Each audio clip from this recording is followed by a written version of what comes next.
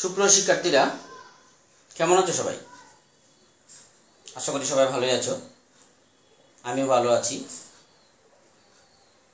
বৈশ্বিক মহামারী করোনার কারণে আজ তোমাদের বিদ্যালয় বন্ধ রয়েছে, অনেকদিন যাবৎ। তাই এই ক্ষতি কিছুটা পুষিয়ে নেওয়ার জন্য খালিয়াজুরি অনলাইন প্রাথমিক বিদ্যালয় এই অনলাইন ক্লাসের আয়োজন করেছে। তো আমি প্রথমেই আমি আমার পরিচয় দিয়ে নিচ্ছি। আমি বিনয়চন্দ্র বিশ্বাস, সহকারী শিক্ষক, মেদিনীপুর সরকারি প্রাথমিক বিদ্যালয় খালিয়াজুরি নেতৃবৃন্দ আমি আজকে তৃতীয় শ্রেণির গণিত বিষয়ে একটা পাঠদান দিব। তৃতীয় শ্রেণির শিক্ষার্থীরা, তোমরা খাতা কলম নিয়ে বসে পড়ো। তোমরা ভগ্নাংশ কি তা শিখেছ। আজকে আমি ওই ভগ্নাংশেরই একটা অংশ, সমতুল ভগ্নাংশ কি, এটা নিয়ে আজকে আমি আলোচনা করব। তোমরা বোর্ডের দিকে ভালো করে খেয়াল করো। এখানে আমি তিনটা চিত্র দিছি। ভালো করে খেয়াল করো, তিনটা চিত্র।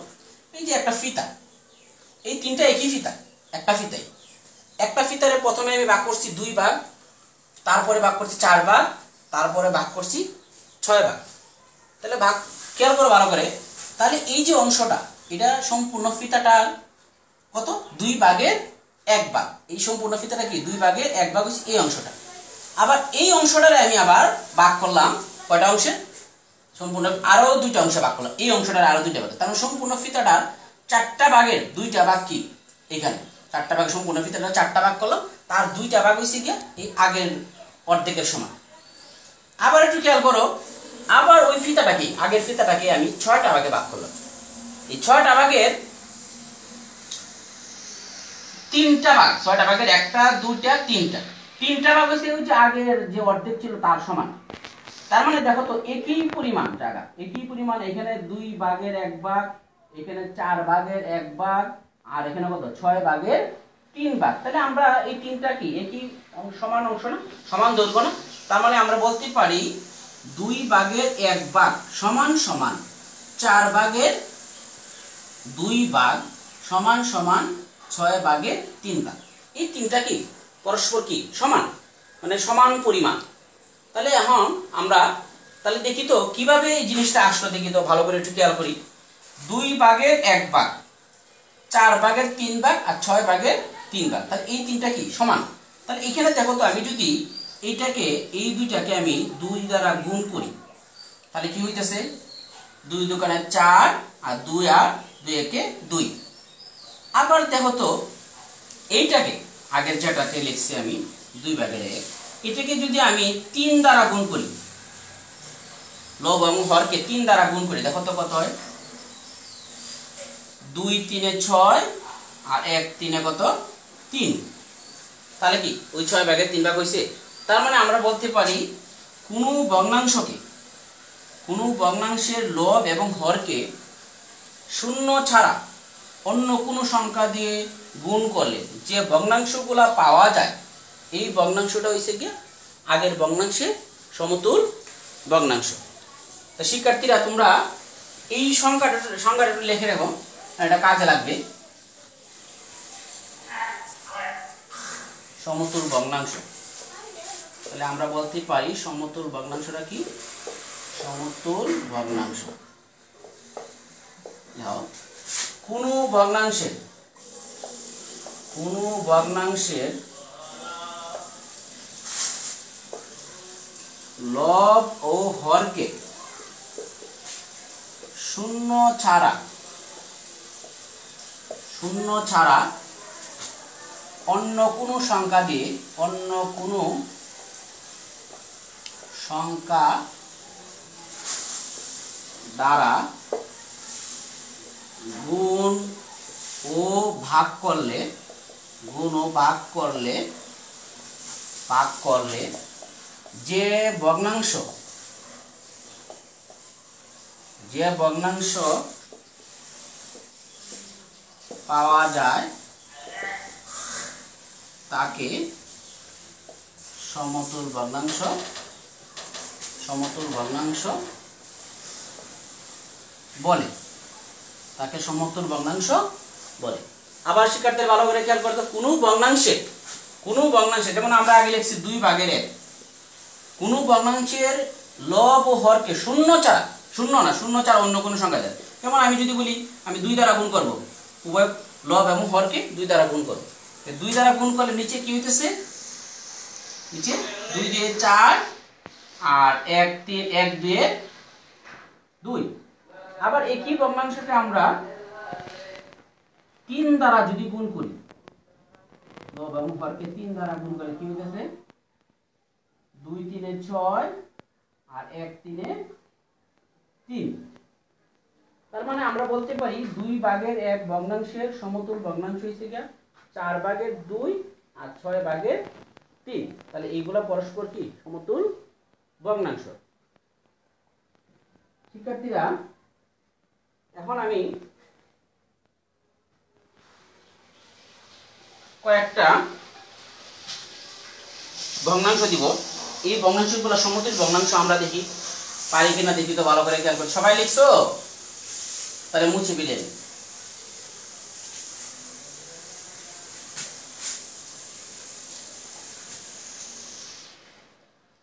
ভালো করে খেয়াল করো এখন আমি যদি বলি যে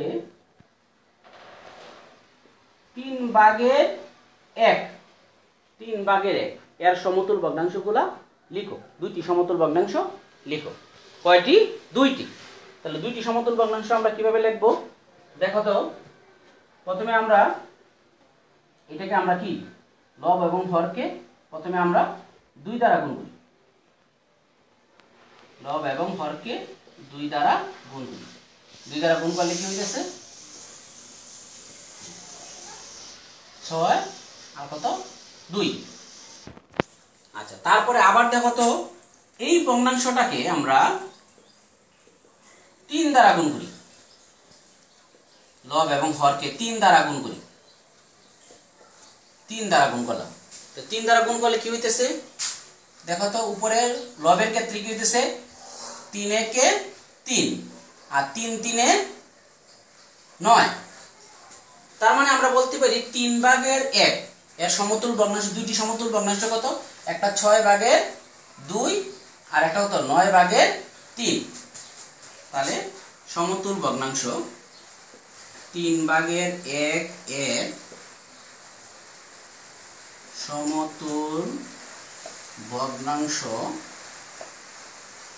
সমতুল ভগ্নাংশ ছয় ভাগের দুই আর কি? নয় ভাগের তিন। শিক্ষার্থীরা বুঝছ? ভালো করে আবার দেখো। আমি পরীক্ষাতে আসলো তিন ভাগের এক, এর সমতুল ভগ্নাংশ, দুইটি সমতুল ভগ্নাংশ লিখো।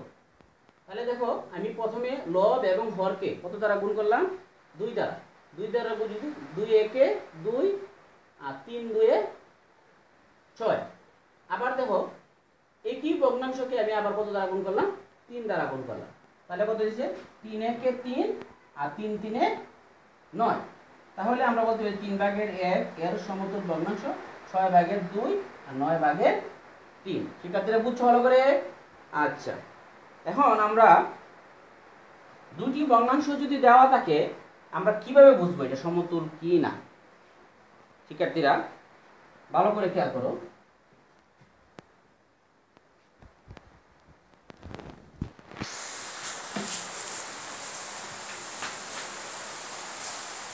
আচ্ছা এখন ভালো করে খেয়াল করো তোমরা।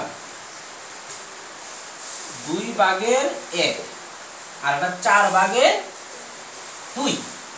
এই দুইটা ভগ্নাংশ সমতুল কি না? পরীক্ষাতে আসব সমতুল কি না? দেখাও, তখন তুমি কীভাবে বুঝবে এটা সমতুল কি না? তাহলে ভালো করে খেয়াল করো, দেখো তো, প্রথম ভগ্নাংশের লব এক, আর দ্বিতীয় ভগ্নাংশের হর কত? চার।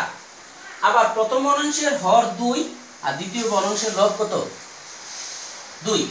এখন আমরা এই প্রথম ভগ্নাংশের লব হরের লবের সাথে দ্বিতীয় ভগ্নাংশের হর গুণ করব। আবার দ্বিতীয় ভগ্না প্রথম ভগ্নাংশের হরের সাথে দ্বিতীয় ভগ্নাংশের লব কি করব? যোগ করব। যোগ গুণ করব। গুণ করলে গুণ ফল যদি সমান হয় তখন আমরা বুঝব এই দুইটা ভগ্নাংশ কি?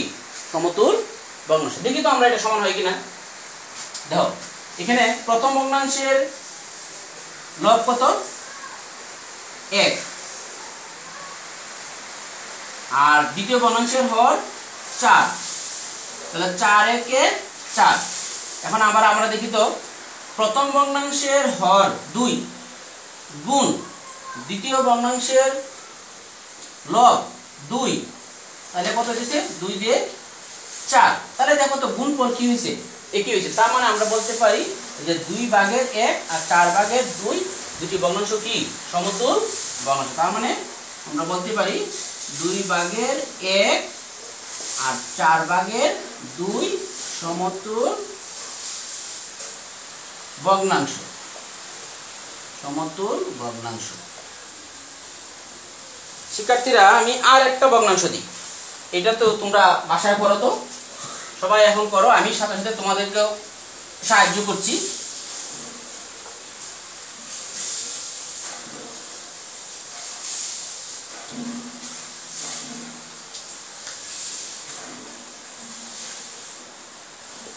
ছয় ভাগের তিন। আর আট ভাগের পাঁচ এটা আমরা বের করো সমতুল কি না? এই ভগ্নাংশটা সমতুল কি না? আমরা এখন দেখব। দেখো তো, এখানে প্রথম ভগ্নাংশের লব তিন। আমরা বলছি যে প্রথম ভগ্নাংশের লবের সাথে দ্বিতীয় ভগ্নাংশের হর কি করব? গুণ করব। আবার প্রথম ভগ্নাংশের হরের সাথে দ্বিতীয় ভগ্নাংশের লব কি করব? গুণ করব। তাহলে আমরা গুণটা করি তো। ভালো করে খেয়াল করো। তাহলে প্রথমে তিন গুণ আট, কত হয়েছে তিন আড়া চব্বিশ। আবার দেখো তো, প্রথম ভগ্নাংশের হর ছয়, দ্বিতীয় ভগ্নাংশের লব পাঁচ, তাহলে কত হয়েছে ত্রিশ। এখন দেখো তো শিক্ষার্থীরা, এখানে আমরা প্রথম ল- প্রথম ভগ্নাংশের লবের সাথে দ্বিতীয় মানুষের হর গুণ করলাম। গুণ করার পরে আমার গুণ ফল কত হয়েছে চব্বিশ। আচ্ছা তারপরে আবার দেখো প্রথম ভগ্নাংশের হরের সাথে দ্বিতীয় মানুষের লব গুণ করলাম। হয়েছে কত? ত্রিশ। তাহলে কি দুইটা গুণ ফল কি সমান হয়েছে না। তাহলে আমরা কি বলতে পারি দুইটা ভগ্নাংশ সমতুল ভগ্নাংশ? না, তাহলে আমরা বলতে পারি না। তারপরে আমরা কি লিখতে পারি? ছয় বাঘের তিন ও ভাগের পাঁচ সমতুল ভগ্নাংশ নয়। তাহলে এইভাবে আমরা করতে পারব না? এভাবে আমরা কি? অনেকগুলো ভগ্নাংশ, যতগুলো ভগ্নাংশ থাকবে, সবগুলো ভগ্নাংশ কি? করতে পারব। এবার আমরা এবার আর গুণন করব। মানে প্রথম ভগ্নাংশের লবের সাথে দ্বিতীয় ভগ্নাংশের হর গুণ করব। দ্বিতীয় ভগ্নাংশের, প্রথম ভগ্নাংশের হরের সাথে দ্বিতীয় ভগ্নাংশের লব গুণ করব। গুণ করে দেখব এটা সমতুল তাহলে শিক্ষার্থীরা, তাহলে আজকে আমরা শিখলাম যে সমতুল ভগ্নাংশ কি। তাহলে আমরা আগামী দিন আরও এরকম নতুন নতুন বিষয় নিয়ে হাজির হব। তাহলে আজকে আমরা এই পর্যন্তই। সবাই ভালো থেকো।